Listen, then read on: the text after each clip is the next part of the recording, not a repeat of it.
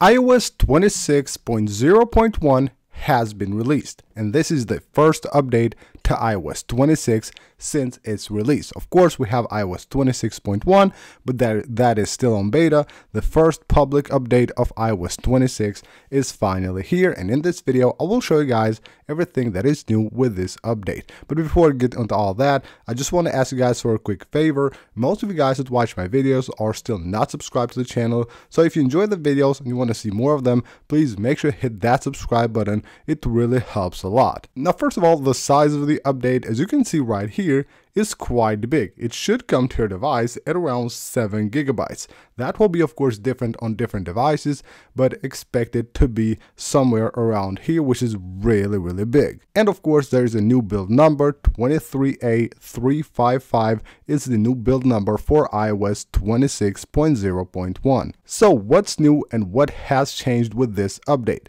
Well, of course, these updates will bring mostly fixes and not new features. First of all, we have fix for the iPhone 17, 17 Air, and the 17 Pro models where Bluetooth and Wi-Fi may just occasionally disconnect. If you have one of those devices and have that issue, make sure you update your device. And there's also a number of users that have been reporting not being able to actually connect to the cellular network after updating to the new iOS 26, well, that should be fixed with this update as well, so expect that problem to be fixed with 26.0.1. And also there is a problem with the camera while taking pictures with the new iPhone 17, 17 Air and 17 Pro where basically photos taken under certain light conditions may just unexpectedly include different artifacts that has been fixed as well. Also app icons may appear blank after adding custom tint. So you add custom tint